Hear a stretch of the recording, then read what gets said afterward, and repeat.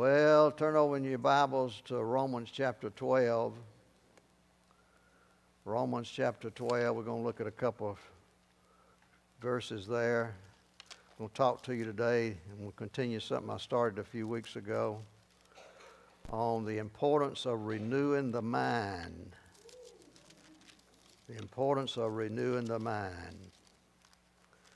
I tell you, God has got a lot of His preachers, teachers, pastors uh, emphasizing this right now because I believe it's the most important thing after you get born again, after you get baptized in the Holy Spirit. The most important thing for your life is to get in the process.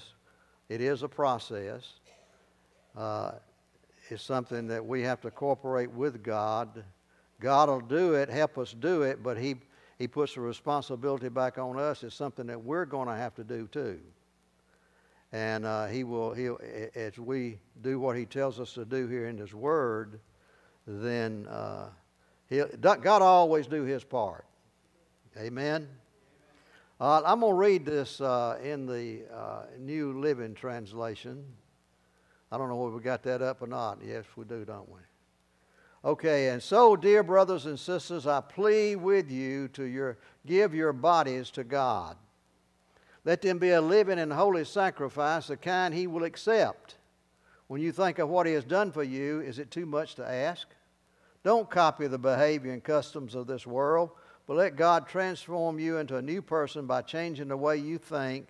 Then you will know what God wants you to do, and you will know how good and pleasing and perfect His will really is. Amen. Now, that's a process uh, of getting your mind renewed. It's really a lifetime process. Amen.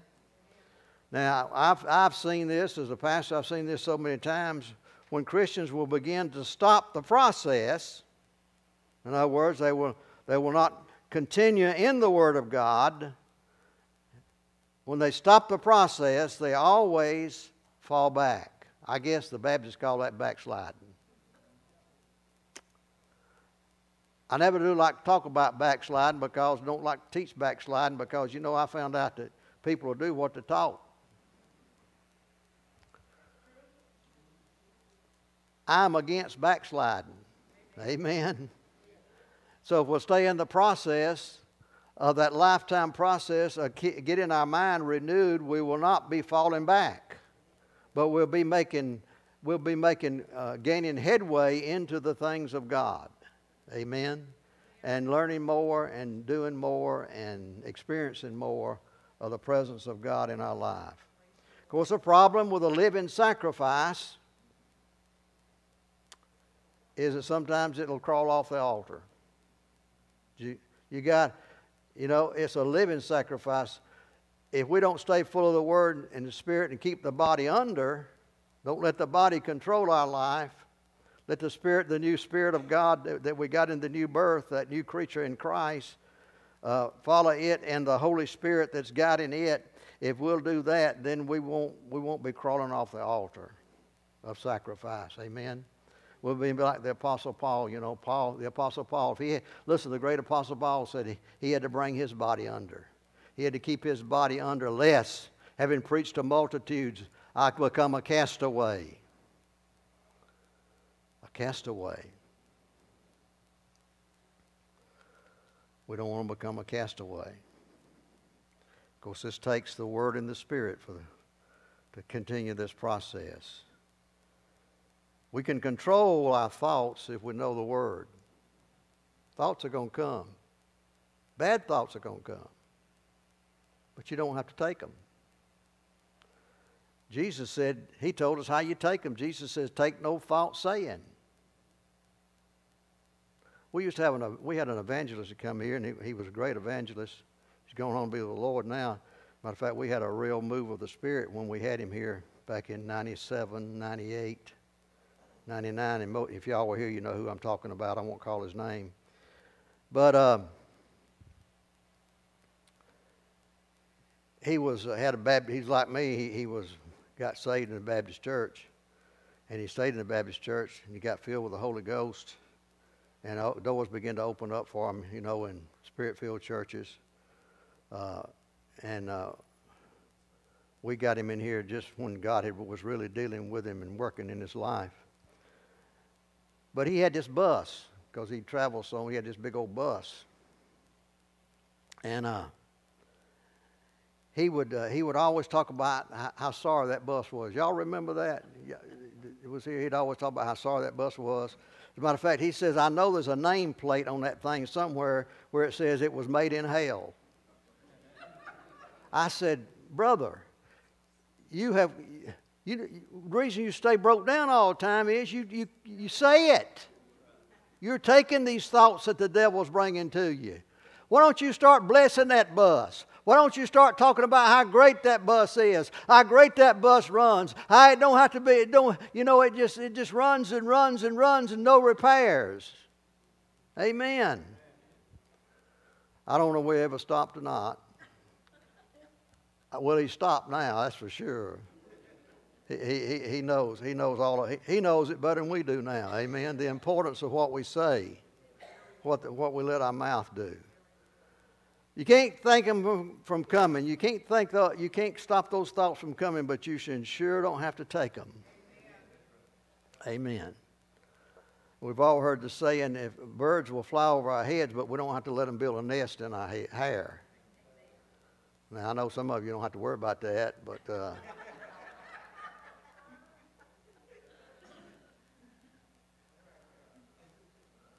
But uh, none of us have to worry about it. Amen? You don't have to let them build a nest or mess.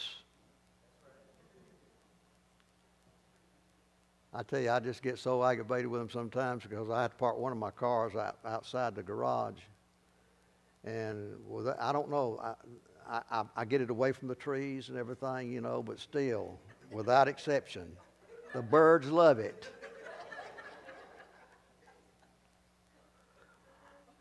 And now I'm saying it, they're going to continue to love it.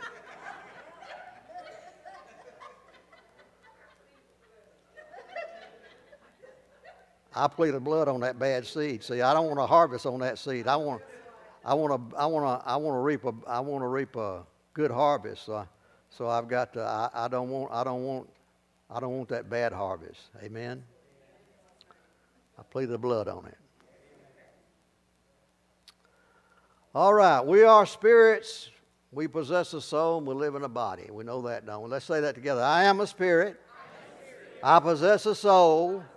I live in a body. Now, the soul we know for sure is the mind, the will, and the emotions. And may, I don't know, the heart may be in there somewhere. Uh, some people think the heart's the spirit. Some people think the, the heart's also in the soul. But uh, we have to be born again because we die spiritually. We die spiritually. Hebrews 12 9 says, Furthermore, we have had human fathers who corrected us and paid them respect, and we, and we paid them respect. Shall we not much more readily be in subjection to the Father of spirits and, uh, and live? God is the Father of spirits. We all came from God as spirit beings. We came into this world as spirit beings. Uh, we, are all a seed. Do you know you're a seed? You're, you're, the, you're the harvest of a seed that was planted in the womb of your mother. Uh, that's how, we, how, how man gets legally into this world is through a woman. See, Satan's uh, Ill, he's here, but he's illegal. He's an outlaw spirit. Jesus came the legal way. He was born of the virgin woman Mary, that we have such a wonderful account of in the scriptures. But we are spirit beings. We possess a soul. We live in a body. And regardless of what you've heard preachers say, you didn't arrive dead on arrival. You wasn't dead on arrival when you was born into this world, you, you had a spirit that was still alive to God. The problem is, because he don't have no dead spirits. The problem was you're born into a world that's cursed with sin. And somewhere in your youth, it's going to happen. It happens to us just like it happened to the Apostle Paul. The Apostle Paul says, I was alive once. The commandment came, sin revived, and I died. Now, he, he, he wasn't talking about dying physically, he's talking about dying spiritually. What is spiritual death? Spiritual death is being separated, alienated from the life of God. In other words, somewhere in your youth, we all lose the life of God, just as the Apostle Paul did. Every, every person, unless they have, uh, they're maybe so, um, their mind is so mentally retarded. Um, but we all come to a knowledge of what? Good and evil. Somewhere in youth. We become accountable because we get we get we understand what's right and what's wrong. Now you may do a lot of things that's not right, it's wrong before you come to that age, but you're still in an age of innocence because you've not come to that age of accountability. You know, it was the tree of the knowledge of good and evil that man ate of there in the garden. And that's when we come to the knowledge of good and evil that sin that is dormant in the flesh, see, the sin nature is passed from one generation to the next generation in the flesh. And it lies dormant in the flesh. See, Paul, Paul said, sin revived, and I died. The sin was in his flesh, the sin nature, the flesh nature and it, it became alive and it separated him from God, and that happens to all of us. This is why Jesus came to do what he did for us. Jesus didn't really come to start another religion. The world's full of religion. Religion is man trying to work a way to know God, and it's impossible. Jesus came to show us and be the way to God for us. In other words, He came to, take, to bring the life of God back to us. That's why He says over in John chapter 3 that you must be born again from above, or you'll not see the kingdom of God. That's why Jesus, when He would be ministering, and they would try to pre- prevent the little children from coming unto him, he'd say, Don't prevent the children from coming unto me, for of such is the kingdom of God. Why did he say, For of such is the kingdom of God? Because they still had the life of God in them. And I've seen this so, and not only did I remember it in my own life, but I see it in the life of children today. Children love God. Children are very sensitive to God. You know why they're still sensitive to God? Little children are sensitive to God till they get to the age of accountability. Because they don't, they don't get filled with all the garbage of the world that we get filled with. Our minds, their minds have not yet been fully programmed with the things of the world. And they can be very sensitive to the things of God. I remember a story that Brother Hagin used to tell us about a friend. Eh, this was actually a friend of his, a minister friend. And uh, he had a brother that died, and uh, he had to he had to get someone that had a private plane to fly him from where he was living to uh, for the funeral. Of course, the wife and his child could not go at that time. The child was small, and, uh, but they carried him to the airport, and the plane, of course, they watched the plane take off. And the child said, Mommy, Mommy, don't Daddy know that plane's going to hit that mountain? See, children are very sensitive to the things of the Spirit, to God. And uh, sure enough, that plane hit that mountain, and, and, and of course, the, his father was killed and the pilot was killed. Children can be very sensitive or are very sensitive to the things of God. I can remember when I was a child, I'm, trying, I'm thinking back, probably seven, eight years old, and I would, my, my, I'd go with my, grand, spend my, my summers out of school, I would go spend with my granddaddy who had a farm, and uh, he had a church that w- would go to, and real close to his home there, and and we would uh, we'd have that they'd have that what they call revival once a year, but they but but they I can remember their pastor he only preached twice a Sunday, and the rest of the Sundays we just had Sunday school in that church, and um, that's where I I learned that little chorus, Jesus loves me, this I know, for the Bible tells me so. And I can remember when I was being prayed for to receive the baptism of the Holy Spirit, they began, they, you know, they, after, you know, I'm, I'm a hard-headed Jackson, and uh, after I, I went forward, I, I went forward, I intended to get it. I seen it in the Bible. I knew it was available to me and they prayed over me and they prayed over me and i know they wanted to give up but i, I just i would not move. They kept praying for me and praying for me and finally one of them uh, one of the ministers that was sponsoring this particular meeting he said let's let's sing something in the spirit. And they began to sing that little chorus jesus loves me this i know for the bible tells me so. Now they were singing it in tongues but uh, i knew the but i knew the chorus i knew the chorus of it and as they began to sing that, the Spirit of God came on me and just moved through my entire body. And um, I learned that in this church I'm talking about. But we had this fiery, he, had a, he was a big fellow. He was quite, quite large. Not this way, but this way too. He was quite tall.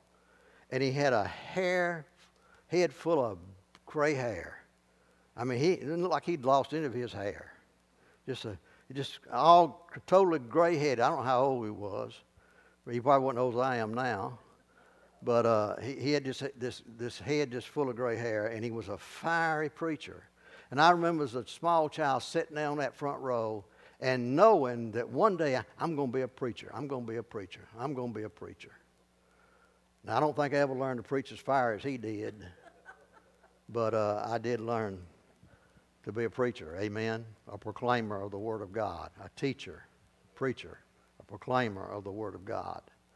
So, children, we, we, we, need, we probably need to get the children in, in our services more and let them pray for us. Amen? Because children are sensitive to God. And somewhat, but the, the problem is somewhere, and this is why it's so important to get, get your children in church. You know, keep your children in church. When they come to that age of accountability, they're going to know the answer that Jesus is the answer. Amen? Just like we, we found him. I was, I was 32 years old before I got born again. But I can remember them baptizing me when I was 11, 12 years old and in water. And I went down a, a center and I came up a wet center. And, and, and uh, I'd already come to the age of accountability, and it didn't take that in that particular church. They, they just, when you got a certain age, when they had that annual revival, then you're supposed to get you're supposed to join the church and get water baptized. And I did that. I joined the church and got water baptized when I, I think it was 11 years old, 12 years old, something like that. But anyway, when I was 32 years old, of course, after, you know, being full, filled with a lot of garbage, now where's programmed, so your mind, your brain is like a, the hard drive of a computer, and uh, your mind is like the software in a computer. You've been programmed, programmed by the world. This is why when you get born again, so you got to get reprogrammed. And we got to get reprogrammed with the Word of God. This, this is the software that we got to reprogram our minds with, our computers, if you will. We got to get reprogrammed. And this is what he's talking about here when he says, you must, you know, you need to get your mind renewed to the things of God. Do not be conformed to this world, but be transformed by the renewing of your mind. Glory to God. And let me say this when you came into the world alive to God, your name was written in the book of life. Did you know there's nowhere in the Bible that says when you get born again, you, your name's written in the book of life? Now, they told me that. Oh, when I, get, when I got born again, now your name got written in the book of life. My name was already written in the book of life. It doesn't say it's going to be written in the book of life when you get born again. It talks about it can be blotted out. And what happens is if we leave this life and we've rejected Jesus, our name is blotted out. If we receive Jesus in this life and we leave and we, when we leave this life and we are born again of the Spirit of God, we become that new creation spiritually in Christ, then our name's not going to be blotted out. Be absent the bodies to be present with the Lord. Because why? We received Zoe life. We received the God kind of life when we got born again. Spiritually, we got it back. That's what Jesus died for. Raised from the dead for, that we could be, once again be justified before a holy God with the life of God in us when we accepted Jesus and what he had done for us through his death, burial, and resurrection. Hallelujah. Aren't you glad? Here's the scripture. Uh, Revelations 3 5 says, He who overcomes shall be clothed in white garments, and I will not blot out his name from the book of life, but I will confess his name before my Father and before his angels. Hallelujah. So it's important that we, when we leave this life, that we be alive to God spiritually. See, everyone's eternal. Every, every, every person is an eternal spirit. The difference is where we're going to spend eternity. Are we going to spend it with God or are we going to spend it with the devil in, the lake, in, in, in hell?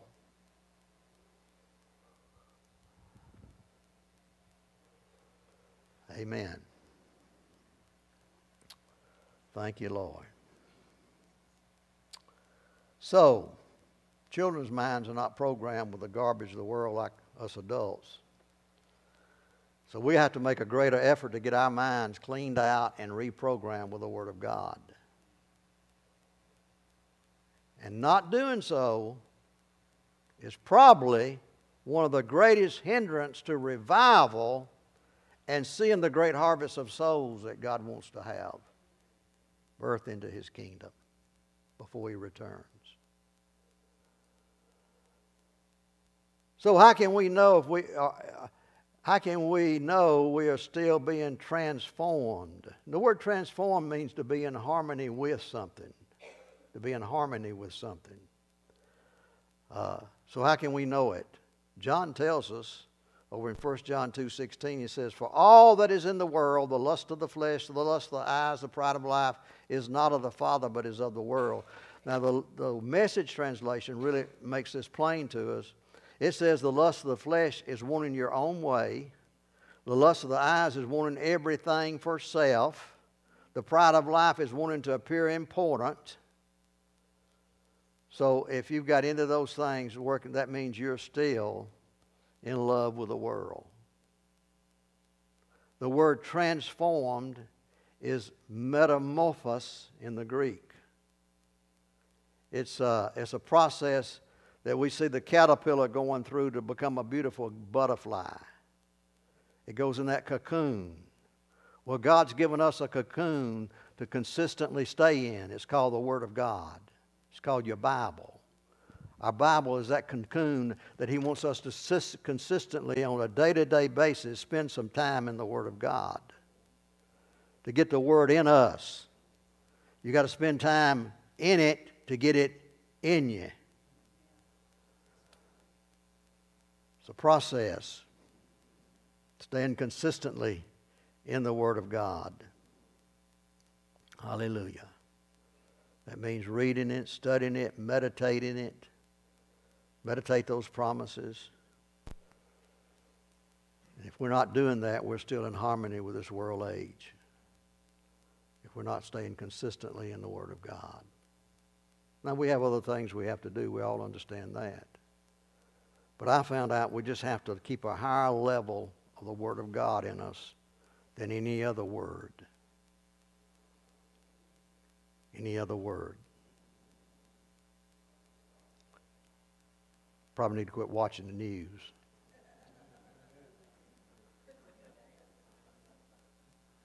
Get in the Bible. Read the Bible. Keep that word of God higher than any other level of any other word. And you'll be all right. You'll be on you'll be you'll be doing good. Amen.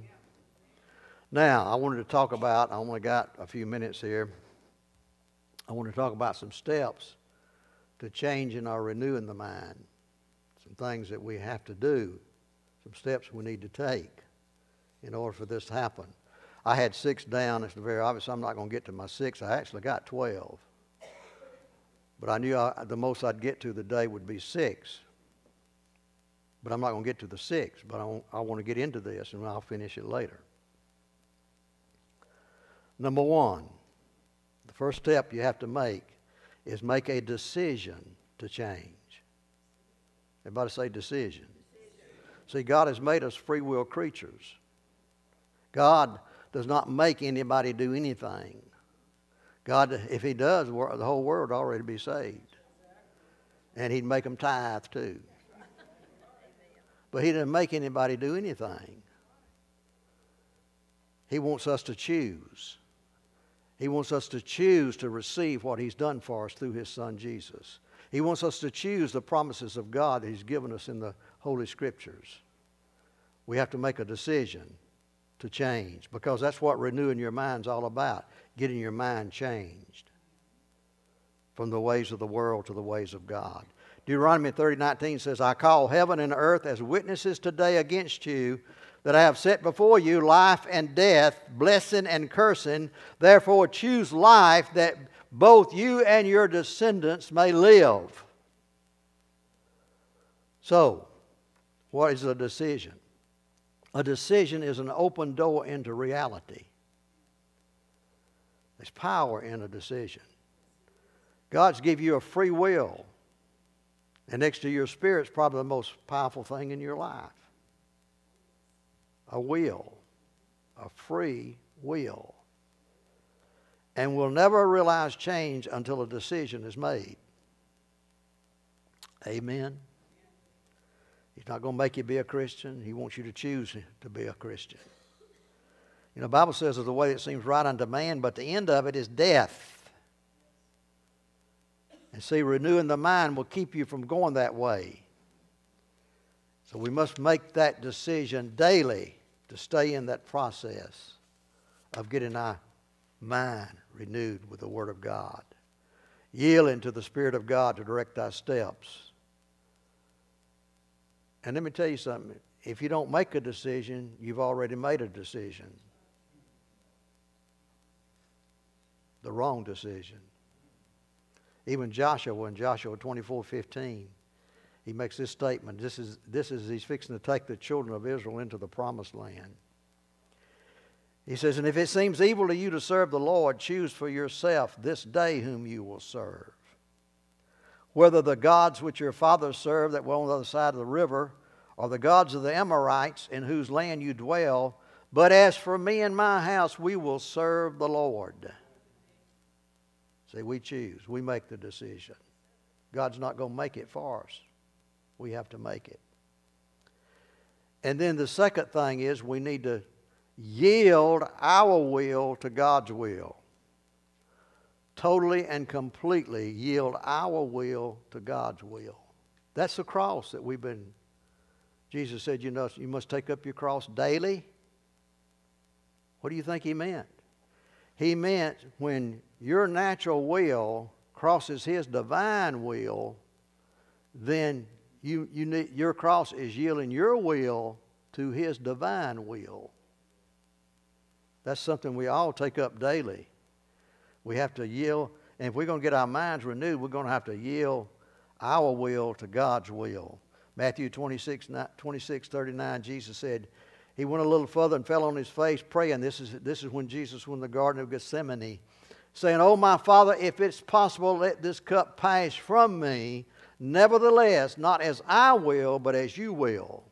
See, Jesus, as the human part of Jesus, had to yield his, that, that human will he had to the will of the Father. And of course, he did that. As a matter of fact, he said, I, I do nothing except I, what I see the Father does and what the Father tells me to do.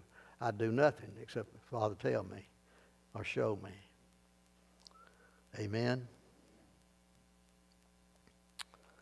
And of course, you know that scripture, we can bring that scripture in. I quoted early Isaiah 119, if you be willing and obedient, you shall eat the good of the land. Amen. All right, here's a third one here, and this is probably the only one I get in today. But I'll, I'll call the rest of these six out where you can be studying them.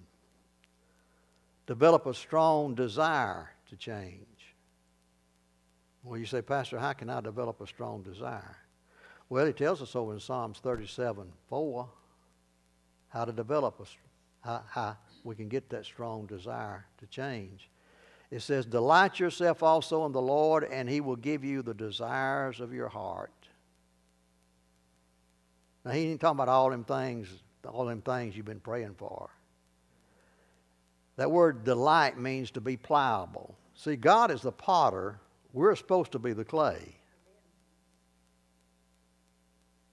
That word delight means to be pliable in the hands of the potter. Delight yourself in the Lord, and He will give you the desires of your heart. In other words, He's going to put His desires in you, and you'll want what He desires. And that's what we need to be seeking after, is developing that strong desire to change. You will never change because someone else wants you to change. The Word will create a desire to change you to change. As you stay in the Word, as you get more of the Word in you, there'll be a desire to change.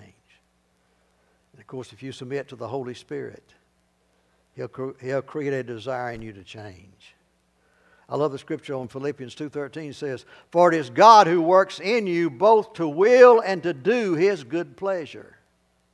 For it is God which works in us to will and to do His good pleasure. Hallelujah. Delight thyself. Be pliable in the hands of the potter. This is changing. This is renewing your mind, and it's a lifestyle process that we must get into. What you give attention to is what you desire. What you give attention to is what you desire. You give attention to the Word, you give attention to the Spirit of God, and you'll get God's desires working in your life. Strongly working. Hallelujah. All right, I'm going to quickly call these out. If you want to write them down, number four is increase your knowledge base. Hosea 4 6 says, My people are destroyed for lack of knowledge. Number five, look into the Word as a mirror to change. How many of you got up this morning and you went to a mirror and you looked in the mirror and you say, oh, there got to be some changes.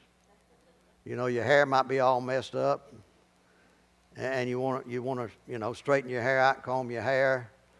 And uh, you ladies leave, I know what you ladies get into before you leave the house. You know, you go, you go through all that stuff that the ladies go through, and thank God you do look better. You always look a lot better than we us men. Amen. So we understand what a mirror is, but God, God the Bible says uh, the Word of God says it is a mirror for us to look into. So we need to ha- we, we need to look into the Word as a mirror to change. 2 Corinthians 3.18 says, But we all, with unveiled faces, beholding as a mirror the glory of God, are being transformed in the same image from glory to glory, just as by the Spirit of the Lord. Amen. If you focus on the Word, the Holy Spirit will focus on changing you. Amen. And when you look into the Word of God, you, found, you, you find a mirror that tells you the truth. Tells you the truth. He says, My Word is truth. Number six, diligently apply the truth you know daily. We don't really know something until we begin to apply it. Begin to live it. Proverbs 12 24 says, The hand of the diligent will rule, but the lazy man will be put to forced labor. And I love the scripture from John chapter 8, verse 31 32. If you abide in my word, King James says, if you continue in my word, abide means really to live, to stay in. Stay in my word. If you stay in my word, you are my disciples indeed, and you shall know the truth, and the truth shall make you free. Isn't that a wonderful promise? I mean, you want to be free. Amen? But what you learn, you have to apply. Glory to God. Consistency is always the key to breakthrough in anything.